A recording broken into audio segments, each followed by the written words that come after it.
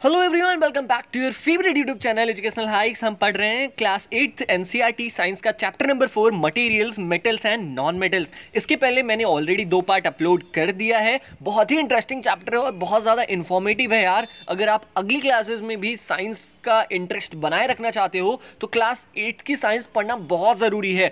तो इसी के लिए जो थर्ड पार्ट है, इस चैप्टर का आखिरी पार्ट है, ये चैप्टर ये पार्ट भी हमने बहुत अच्छे से एक्सप्लेन किया है फिगर्स भी हैं और अच्छे से जो भी इंपॉर्टेंट पॉइंट्स है, उसको हमने अंडरलाइन किया है हाईलाइट किया है। तो चलिए देखते हैं।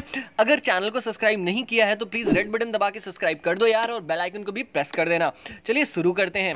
रिएक्शन विथ वाटर हमने इसके पहले पढ़ा था मेटल्स एंड नॉन मेटल्स का ऑक्सीजन के साथ कैसा रिएक्शन होता है। अगर नहीं देखा तो पहले और दूसरे पार्ट में जाके देख लो। अभी रिएक्शन विथ वाटर मेटल्स और नॉन मेटल्स का वाटर के साथ रिएक्शन कैसा होता है, ये हम देखने वाले हैं।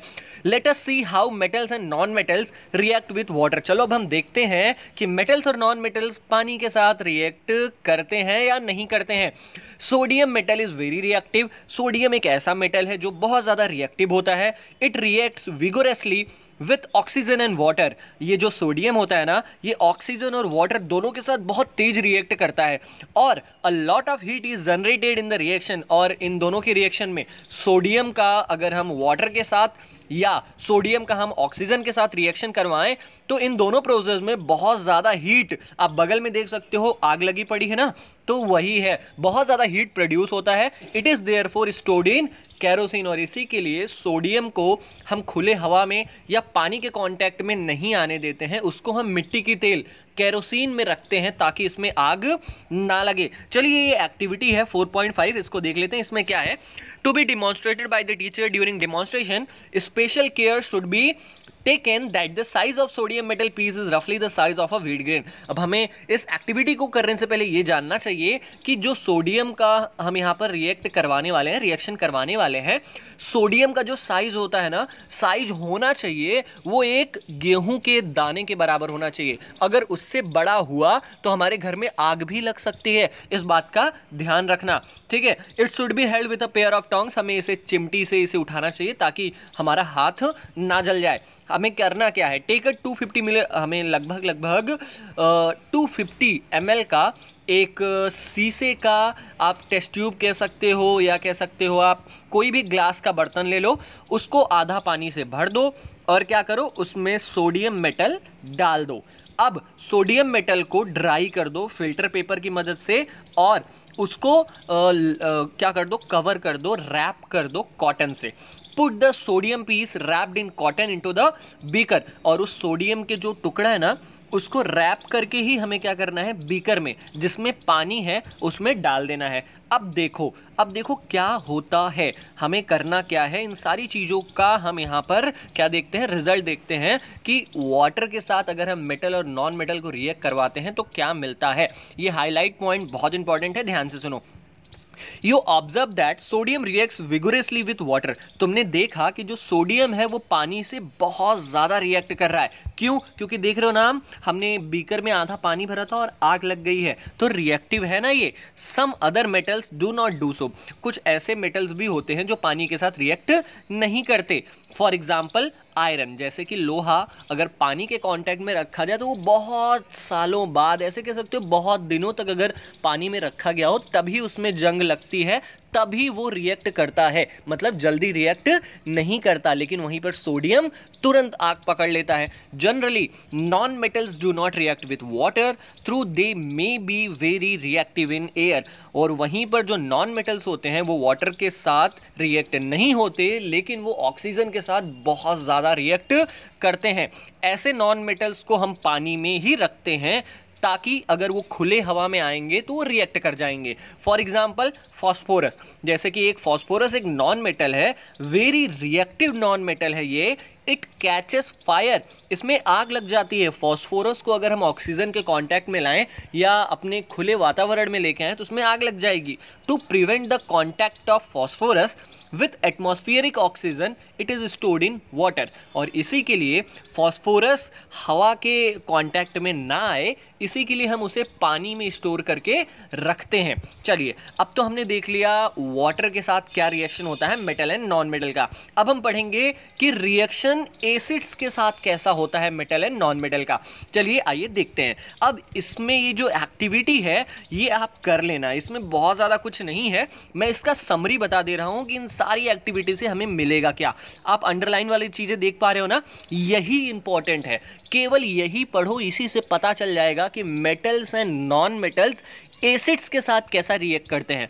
You must have found that तुमने ऊपर एक्टिविटी करने के बाद तुम्हें ये पता चल गया होगा that non metals generally do not react with acids but metals react with acid अब हमें ऊपर से इतना तो पता चल गया, ऊपर एक्टिविटी करने के बाद कि जो जो नॉन मेटल्स होते हैं वो एसिड्स के साथ रिएक्ट नहीं करते हैं, वहीं पर जो मेटल्स होते हैं, वो एसिड्स के साथ रिएक्ट करते हैं एंड प्रोड्यूस हाइड्रोजन गैस और हाइड्रोजन गैस प्रोड्यूस करते हैं। मतलब कि जब भी हम एसिड्स का और मेटल्स का रिएक्शन करवाएँगे तो हमें हाइड्रोजन गैस मिलेगी। ठीक है हम इसको चेक कैसे कर सकते हैं? That burns with a pop sound अगर हम आ, कभी भी मेटल का और एसिड का रिएक्शन करवाएँ और हाइड्रोजन गैस निकल रहा है कि नहीं ये देखने के लिए हमें जो ग्लास का हमने जो टेस्ट ट्यूब लिया है ना उसके ऊपर हम जलती हुई माचिस को ले जाएँगे ना तो पॉप साउंड निकल के आएगा मतलब हाइड्रोजन गैस है। You must have noticed that pop sound का मतलब आप कह सकते हो एक आवाज़ आती है पॉप पॉप करके उसी को पॉप साउंड कहते हैं, ठीक है? You must have notice that copper does not react with dilute hydrochloric acid तुमने नोटिस किया होगा कि कॉपर एक ऐसा मेटल है जो डाइल्यूट डाइल्यूट का मतलब हल्का हाइड्रोक्लोरिक एसिड के साथ रिएक्ट नहीं करता। यहाँ तक कि अगर हम उसे गर्म भी कर देना तब भी रिएक्ट नहीं करेगा। But it reacts with sulphuric acid लेकिन वहीं पर कॉपर जो है सल्फ्यूरिक एसिड्स के साथ रिएक्ट कर जाता है और हाइड्रोक्लोरिक एसिड के साथ रिएक्ट नहीं करता है। रिएक्शन विद बेसिस अब ये एक्टिविटी बहुत इंपॉर्टेंट है, मैं तुम्हें बता देता हूँ। To be demonstrated by the teacher ये एक्टिविटी आपके टीचर के निर्देशानुसार ही किया जाना चाहिए। During the preparation of sodium hydroxide solution care should be taken that pellets of sodium hydroxide are handled with a plastic spatula जब भी हम सोडियम हाइड्रोक्साइड सोल्यूशन बनाएँ हम एक बात का ध्यान रखें कि जो सोडियम हाइड्रोक्साइड के जो छोटे छोटे पैलेट्स होते हैं टुकड़े होते हैं उसको हम स्पैटुला स्पैटुला मतलब आ, कोई पकड़ने जैसी चीज़ होती है चिमटी मान लो आप ठीक है केवल चिमटी ही मान लो आप उसी की मदद से हमें सोडियम हाइड्रोक्साइड को पकड़ना चाहिए। अब हमें इस एक्टिविटी में करना क्या है? Prepare a face fresh solution of sodium hydroxide हमें सोडियम हाइड्रोक्साइड का सोल्यूशन प्रिपेयर करना है in a test tube test tube में by dissolving three four pellets of it हमें क्या करना है? सोडियम हाइड्रोक्साइड का जो छोटे छोटे तीन चार टुकड़े हैं, उसको हमें पाँच मिलीलीटर पानी में डिजोल्व कर देना है मतलब घोल देना है, ठीक है? Drop a piece of aluminium foil into it अब जब सोल्यूशन बना लें आप तो उसमें क्या करना है एल्मोनियम फॉइल भी उस टेस्ट ट्यूब में डाल देना है। एल्मोनियम फॉइल क्या होता है, आप कभी बर्गर खाते हो या कभी भी रेस्टोरेंट से खाना पैक करा के लेके आते हो तो एक चमकदार सी चीज़ होती है। उसी को कहते हैं एल्मोनियम ठीक है? वही होता है एल्मोनियम फॉइल अब हम अगर aluminium foil sodium hydroxide solution में डालेंगे, और उसके बाद हम क्या करेंगे? Bring a burning match stick हमें जलता हुआ माचिस टेस्ट ट्यूब के सामने लेके आना है। अब ऑब्ज़र्व करना है कि क्या होता है।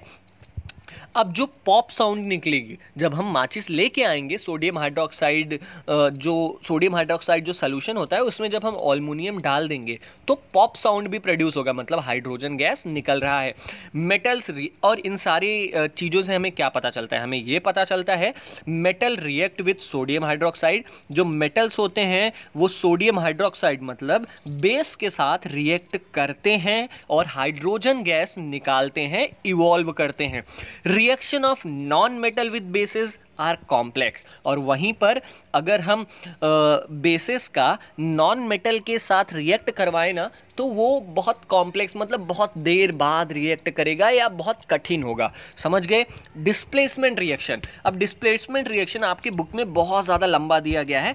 आप समझ सकते हो, एक एक्टिविटी दी गई है, फिर ये सारी चीज़ें दी गई है। लेकिन मैं आपको छोटे में बता देता हूँ कन्फर्म हो जाएगा, पूरा डिस्प्लेसमेंट रिएक्शन बस इतना ही याद रखो। अब ये आप फिगर देख पा रहे होगे अपने सामने। इस फिगर में क्या लिखा है? सिंगल रिप्लेसमेंट लिखा है ना? उसी को हम कहते हैं डिस्प्लेसमेंट रिएक्शन ठीक है? अब डिस्प्लेसमेंट का मतलब ही होता है कि कोई एक चीज़ किसी दूसरे चीज़ की जगह ले लेता है। मतलब कोई एक मेटल किसी दूसरे मेटल का जगह ले लेता है। मैंने यहाँ पर कलर्स से समझाने की कोशिश की है आपको। आप देख रहे हो यहाँ पर ए और बी जो दो हैं, जो दो कलर मिले हुए हैं ना, ये एक कंपाउंड है मतलब दो चीज़ों से मिलके बना है। और जो दूसरा वाला है बी वो अकेला है है ना? उसको हम एलिमेंट कहते हैं, ठीक है? अब अगर ऐसा रिएक्शन हो जहाँ पर एक कंपाउंड और एक एलिमेंट रिएक्ट करें, और और क्या कर दें? आपस में जो रिज़ल्ट आएगा, जो प्रोडक्ट आएगा, जो प्रोडक्ट आएगा, उसमें आप देख रहे हो कलर चेंज हो गया कि नहीं? दूसरा कंपाउंड बन गया और एलिमेंट अलग हो गया। मतलब क्या हुआ? जगह ले लिया ना इसी को डिस्प्लेसमेंट रिएक्शन कहते हैं। आपको कुछ नहीं करना। आपको बस और बस इसका स्क्रीनशॉट लेना है और कोई भी पूछे व्हाट इज़ डिस्प्लेसमेंट रिएक्शन जो लिखा गया है, बस वही बता दो। समझ गए? कोई दिक्कत तो नहीं है ना? तो आई थिंक आपको डिस्प्लेसमेंट रिएक्शन भी कंप्लीट हो गया होगा। अब uses of metals and non metals हमें मेटल्स एंड नॉन मेटल्स के क्या यूजेस होते हैं हमारे डे टू डे लाइफ में? ये हमें पढ़ना है। You should be able to guess why metals are use in making machinery तुम्हें तो पता ही होगा कि जो मेटल्स होते हैं मेटल्स का मतलब लोहा हो गया हमारा, ठीक है? ये सारी चीज़ें मशीनरी मतलब मशीन्स में ऑटोमोबाइल्स मतलब गाड़ियों में एरोप्लेन में ट्रेन में सैटेलाइट्स जो आसमान में जाते हैं सैटेलाइट चंद्रमा और इन सारी चीज़ों का देखभाल करने के लिए मतलब वहाँ की तस्वीरें लेने के लिए, उन सारी चीज़ों में इंडस्ट्री मतलब जो हमारी फैक्ट्रीज होती हैं इंडस्ट्रीज़ होती हैं, वहाँ जितनी भी चीज़ें होती हैं, वो भी आप समझ ही सकते हो मेटल्स के ही बने होते हैं। कुकिंग यूटेंसिल्स जो बर्तन होते हैं स्टील हो गया हमारा, ठीक है, लोहे का भी होता है बर्तन हमारा तो ये सारी चीज़ें और वाटर बॉयलर्स वाटर बॉयलर्स मतलब आप समझ रहे हो ना, पानी को उबालने की जो मशीन होती है, वो भी मेटल्स की ही बनी होती है। You are also familiar with the uses of some non metals तुम्हें ये भी पता होगा कि नॉन मेटल्स के भी कुछ यूजेज होते हैं। Here are some interesting ones आप नीचे देख सकते हो नॉन मेटल्स के बहुत सारे यूजेज दिए गए हैं और बहुत ज़्यादा इंटरेस्टिंग है। आपको जान के बहुत अच्छा लगेगा। चलिए शुरू करते हैं। पहला क्या है? Non metal is essential for our life अब नॉन मेटल हमें जो हम सांस लेते हैं ना, उसमें भी हम नॉन मेटल इनहेल करते हैं। मतलब अंदर हम क्या लेते हैं? नॉन मेटल ही लेते हैं। और उस नॉन मेटल का क्या नाम है? ऑक्सीजन समझ गया ना? चलो, दूसरा। Non metal used in fertilisers अब फर्टिलाइजर्स जो खाद होता है, जो हम अपने खेतों में छिड़कते हैं, उसमें भी नॉन मेटल का ही यूज़ होता है। कौन से नॉन मेटल का? एन एन का मतलब नाइट्रोजन पी का मतलब फॉस्फोरस नाइट्रोजन एंड फॉस्फोरस का यूज़ होता है हमारे फर्टिलाइजर्स में। तीसरा non metal used in water purification पानी को शुद्ध करने के लिए किसी नॉन मेटल का यूज़ होता है। अब वो नॉन मेटल का नाम क्या है? क्लोरीन याद आया? ठीक है? चलो, आगे चलते हैं। Non metal use in the purple coloured solution आपने देखा होगा कि आपको कहीं चोट लग जाती है तो डॉक्टर आपके चोट पर कुछ पर्पल कलर का सोल्यूशन लगाता है, जिसको हम एंटीसेप्टिक बोलते हैं। उन एंटीसेप्टिक में भी नॉन मेटल होता है। वो कौन सा नॉन मेटल होता है? आयोडीन। समझ गए?